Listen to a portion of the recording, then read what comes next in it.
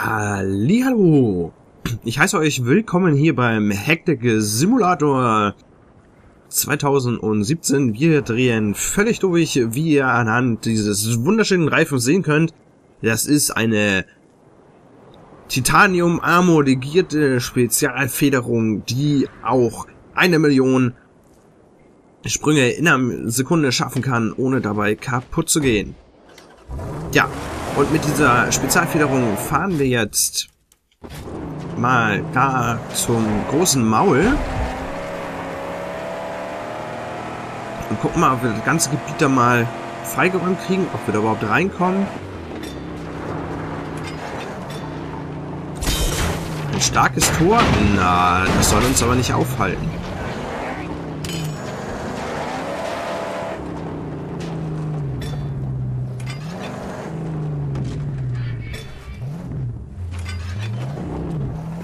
Leute. Na?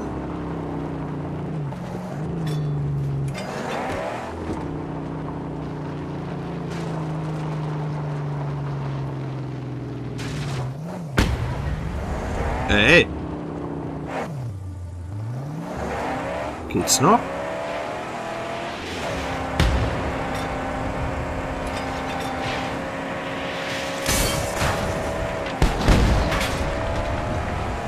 Es denn noch?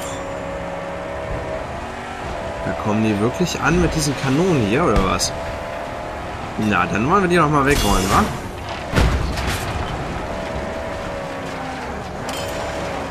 Das kann ich auch. Nur ich habe keine Waffe, um euch klein zu machen.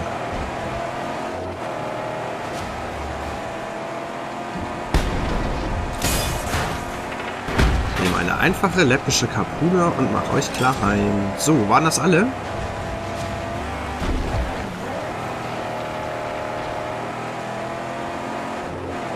Hallo ihr zwei.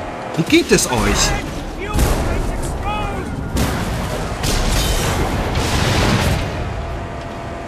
Huch. War eine Explosion. Das sah ja jetzt aus hier, als wenn, ne? Sonst irgendwas da drauf gegangen wäre. Ach, du auch noch! Ja, kriegen wir hin. Keine Sorge. Och, Menno. Jetzt richtig schön gegen die Mauer drücken. So.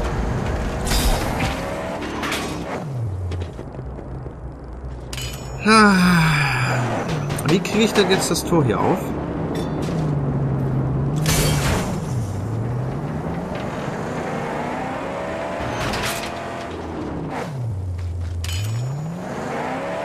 Kriege ich denn das Tor jetzt auf? Das Tor jetzt auf.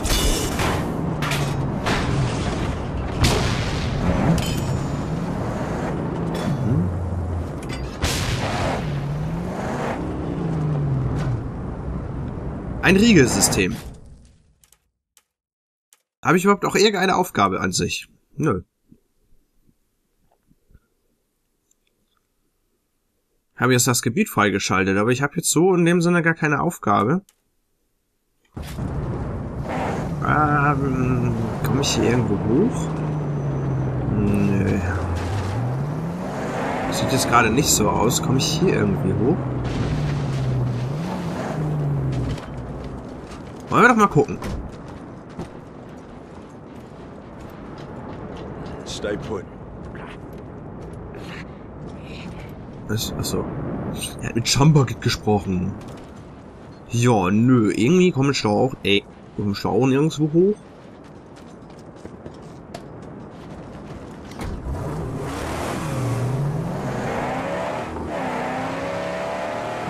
Ja, jetzt wäre meine Frage, wie kommen wir hier durch? Beziehungsweise,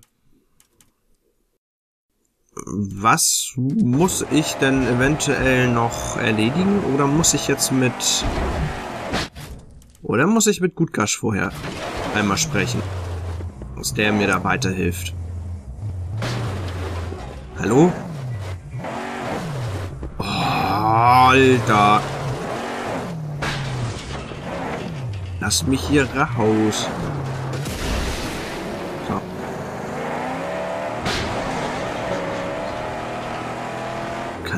Weggeräumt. Ich kann hier auch mit der Harpune nichts weiter anrichten.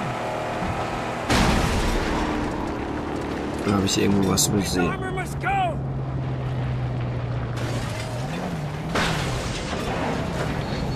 Nee.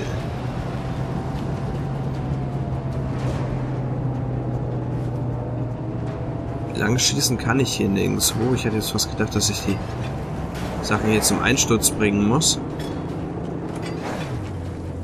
Auch frontal drauf zu hämmern bringt meiner Meinung nach nichts. Bringt auch nichts. Also gut. Ja, ähm, dann schaffen wir in der Folge hier mal gar nichts. Dann fahren wir jetzt zu Hutgasch zurück. Beziehungsweise erstmal fahren wir zu Jeet. Ich will wissen, ob der noch irgendwas zu sagen hat. Ob wir jetzt mal irgendwie die Aufgabe kriegen, hier hinzufahren und zu sagen, hier, lasst uns durch. Oder wie genau wir weiterkommen. Weil Aufgabe an sich, Mission haben wir momentan nicht. Was ich sehr interessant finde, weil eigentlich müsste unsere nächste Aufgabe sein, zum PGA zu fahren, um dort alles abzuschließen, damit wir ja weiter Richtung Gastown kommen, um dem ollen Heini da aufs Maul zu hauen. Wenn wir jetzt aber erstmal nicht durchs Tor kommen, dann weiß ich auch nicht weiter. In der Folge suchen wir jetzt erstmal die Möglichkeit, wie wir durch das große Tor kommen.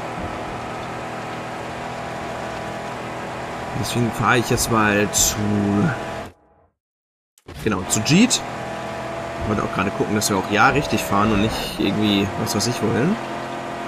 Wenn Jeet uns sagt, ja, hallo, äh, Sie dürfen jetzt da durch und äh, bitte machen Sie noch das und jenes vorweg, dann ist es gut. Und wenn er nichts sagt, müssen wir halt zu Lukas fahren. Und da versuchen, äh, irgendwie was hinzubekommen. Sollte das auch nicht klappen, dann stehe ich jetzt natürlich erstmal da und denke mir so, äh, okay, und nun?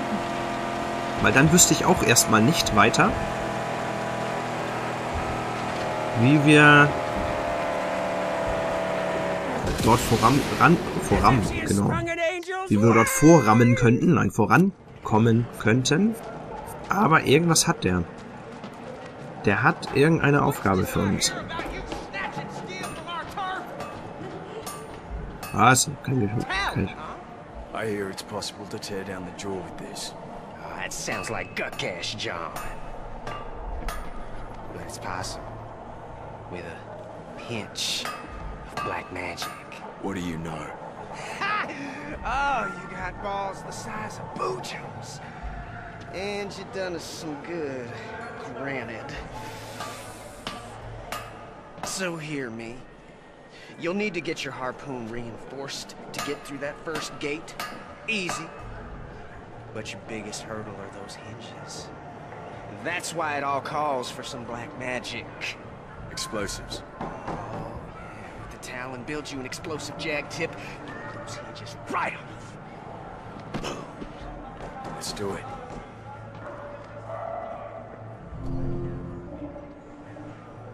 Okay, Hauptmission, schwarze Magie. Er baue den Donnerstecher an. Äh, Chambage, Donnerstecher. Wähle die Kategorie Donnerstecher.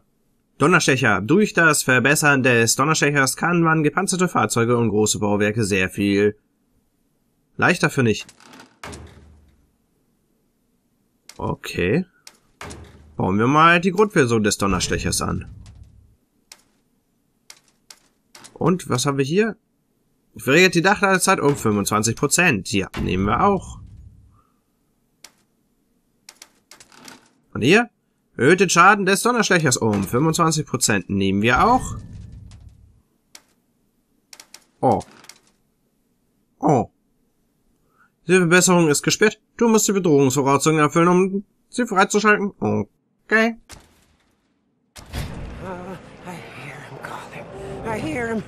Verlasse Jeets Festung. Also schaffen wir doch mal noch ein bisschen was in dieser Folge, wa? Der Donnerstecher ist die stärkste Waffe, die Chomps Arsenal. Die kann genutzt werden, um feindliche Bauwerke und Fahrzeuge zu vernichten. Oh, da haben wir aber auch nur 50 Stück. Huch, das ist ein Raketenwerfer. Hey! What the hell you doing out here? Practice! Just practice! no need to get itchy trigger fingers! Useless crazy. Hurting my nuggets. Fine. Whatever. You may proceed. Naja, es ist so eine Art Raketenwerfer, ne? Ist ja ein geiles Teil. Oh, oh, it's a beauty, Saber! Such power!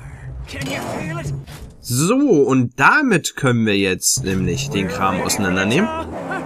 Ob ich damit unbedingt, ähm, ehrlicherweise andere Fahrzeuge angreifen muss, bezweifle ich. Hey, Auto kaputt machen! Weil ich befürchte, das Treffen damit auf bewegliche Ziele könnte verdammt schwer sein. Mm, Vor allem, da ich ja immer so ein Trefflegastheniker bin, was Raketen angeht, auf bewegliche Ziele. Oder sei es denn andere langsame Geschosse auf bewegliche Ziele, egal bei welchem Spiel.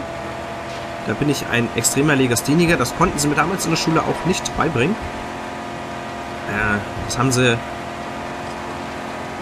lange, lange versucht. Deswegen äh, steht die Schule leider auch nicht, weil ähm, selbst die habe ich nicht getroffen mit einem Raketenwerfer.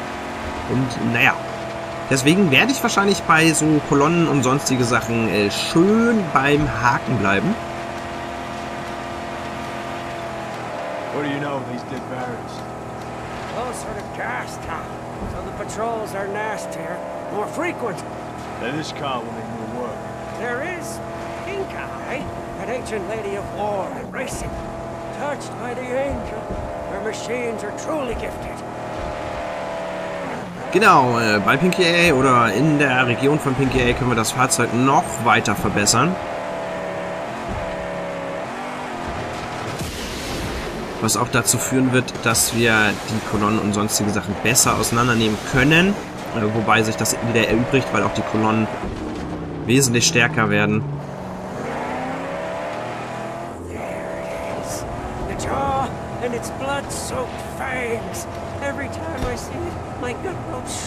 Fear. Lebt ja schon wieder. Hier lebt ja auch schon wieder.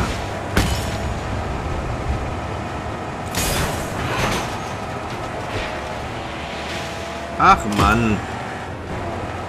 Hab euch gerade so schön alles auseinandergeräumt. Jetzt hat man euch hier wieder hingebracht. Aua. Die sind gar nicht so blöd, die Deile. Die schließen nämlich, die berechnen mich vor,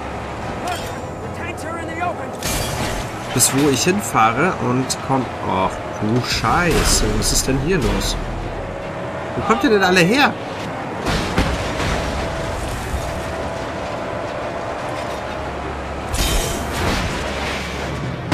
Äh, nein? Ja? The Talon stands loaded and ready. Black Power shall set us free. And fire.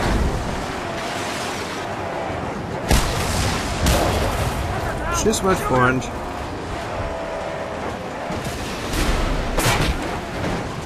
Aua. Enter. Schießt hier jemand mit dem... One final stroke. Schießt hier jemand mit dem Snipergewehr?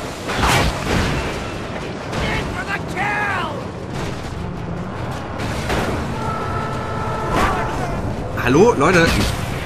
Aua, aua, aua, aua.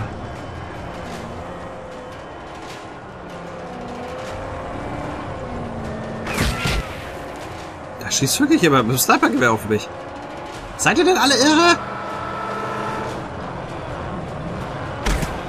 Aua, Alter, ja, ist ja gut. Hallo, ihr könnt mich doch gar nicht mehr sehen. Ich bin doch viel zu weit weg.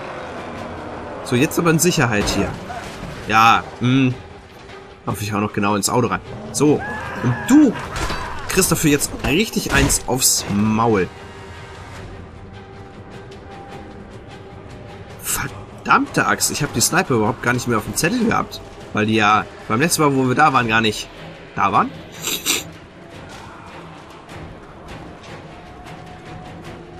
Ahnung, kehre zum Pfad der toten Leere zurück. Ah, hallo!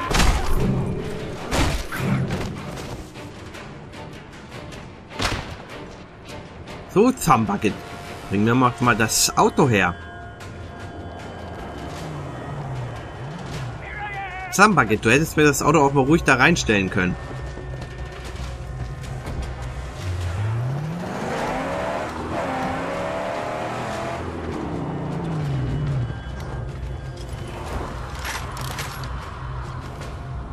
So, mein Freund.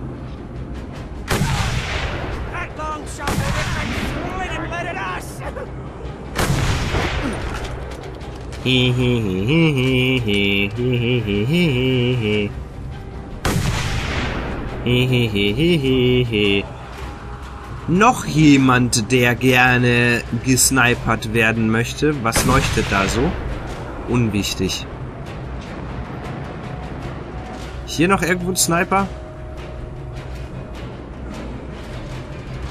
Hä? Gut. Dann wollen wir uns mal daran machen, die Scharniere zu töten. Ja, genau, die Scharniere töten. Wir töten Scharniere, denn sie sind Lebewesen. Äh, nein, ich wollte sie eigentlich zerstören, aber egal. Töten geht auch, ist vollkommen in Ordnung. So, zack. Ach ja, der braucht ja so lange zum Nachladen. Ah. Mensch, Chumbucket. Mach kaputt.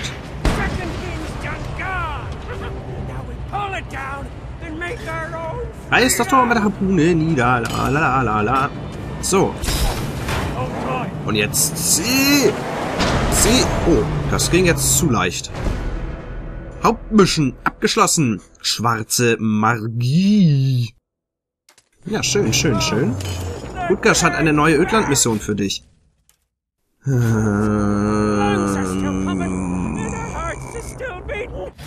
wisst ihr was? Wir fahren nochmal zu Gutgasch zurück. Wir haben das hier nun ziemlich gut aufgeräumt. Und wenn wir dann bei Gutgasch angekommen sind, ist für diese Folge auch Ende im Gelände.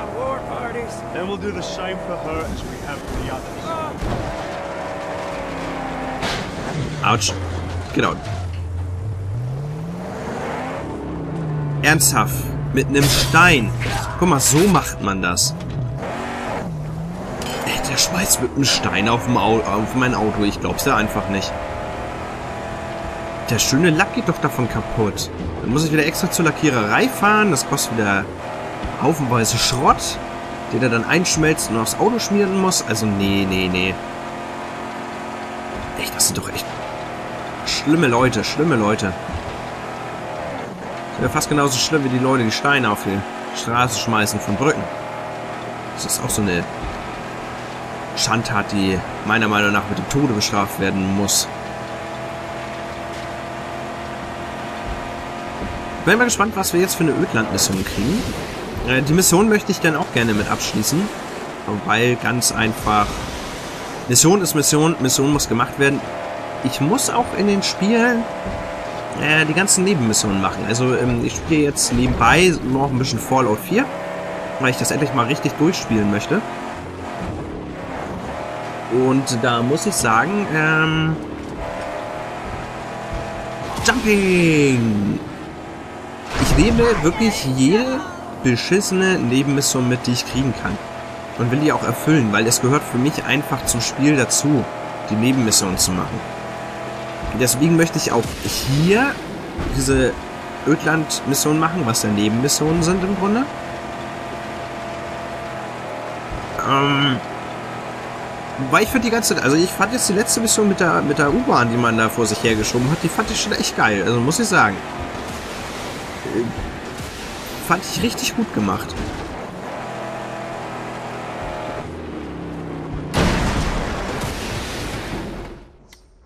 Let me do my stuff. Did it. You got the steel. So, mein lieber Freund Gasch. Was genau hast du denn für eine Aufgabe?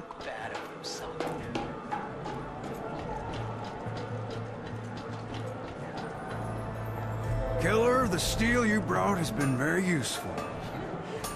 I could sure use your help again. You know my people believe that the big wet shall once again splash these barren shores. I need them to keep believing. In belief, there's hope.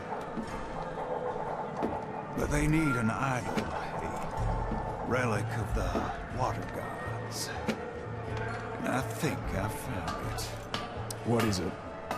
An idol of a critter of the ocean. It will give them the hope that they need. And their hope will see us through. You'll find it in the wall, north of here. Use your long lookers.